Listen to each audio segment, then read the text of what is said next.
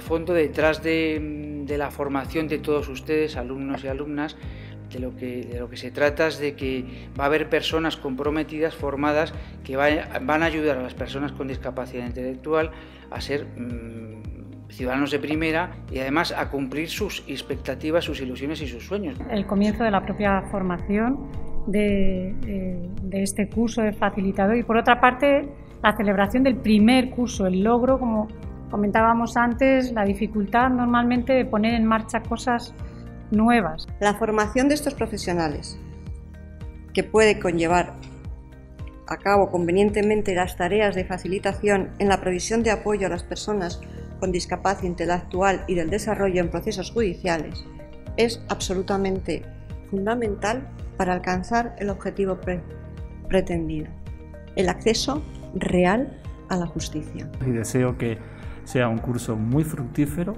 que permita no solamente pues bueno, un intercambio de, de, conocimientos, sino que también sea una experiencia personal y vital importante para todos ustedes. Segurísimo que va a ser así.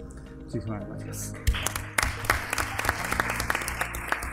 Y no podíamos tener mejor conferencia inaugural y, tener el lujo de poder contar de primera mano con sus aportaciones, su punto de vista y su visión en esta Fiscalía de reciente creación, de muchas expectativas y que está eh, concitando el apoyo y la mirada de muchísimas personas.